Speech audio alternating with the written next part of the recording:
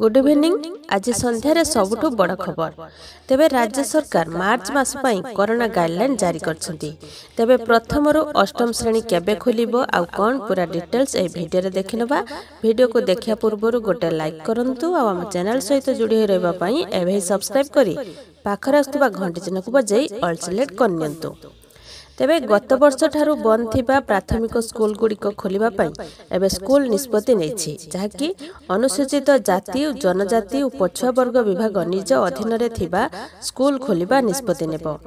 ତେବେ ସମ୍ପର୍କିତ ଚୂଡ଼ାନ୍ତ ନିଷ୍ପତ୍ତି ନେବା ପୂର୍ବରୁ ବିଭାଗ ଲାଗି ସରକାରଙ୍କ ଅନୁଦାନ ଆବଶ୍ୟକ ପଡ଼ିବ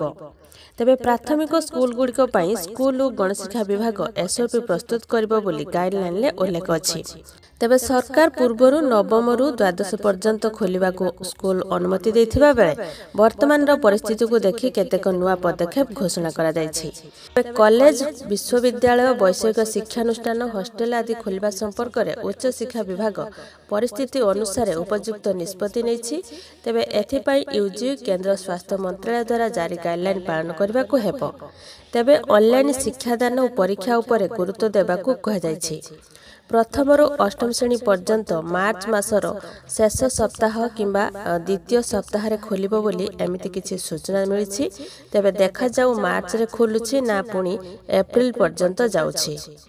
ତେବେ କରୋନା ପାଇଁ ରାଜ୍ୟ ସରକାରଙ୍କ ମାର୍ଚ୍ଚ ଗାଇଡ୍ଲାଇନ୍ ଅନୁସାରେ ଜିଲ୍ଲାପାଳ ସ୍ଥାନୀୟ ଅଧିକାରୀ ସତର୍କତାର ସହ କଣ୍ଟେନମେଣ୍ଟ କରିପାରିବେ ଜନସଚେତନତା ପାଇଁ ବ୍ୟାପକ ପଦକ୍ଷେପ ନେବାକୁ ନିର୍ଦ୍ଦେଶ ଦିଆଯାଇଛି ସେହିପରି ଅନଲାଇନ୍ ମାଧ୍ୟମରେ ନବମ ଏବଂ ଏକାଦଶ ପରୀକ୍ଷା ବାର୍ଷିକ ପରୀକ୍ଷା କରିବାକୁ ସରକାର ଘୋଷଣା କରିଛନ୍ତି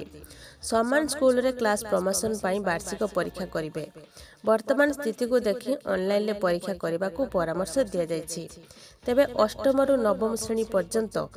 ମାର୍ଚ୍ଚର ଶେଷ ସପ୍ତାହରେ ଖୋଲିଲେ ଭଲ ହେବ କି ନାହିଁ ଆପଣମାନେ ନିହାତି ଭାବରେ କମେଣ୍ଟ ବକ୍ସରେ କମେଣ୍ଟ କରି ଜଣାନ୍ତୁ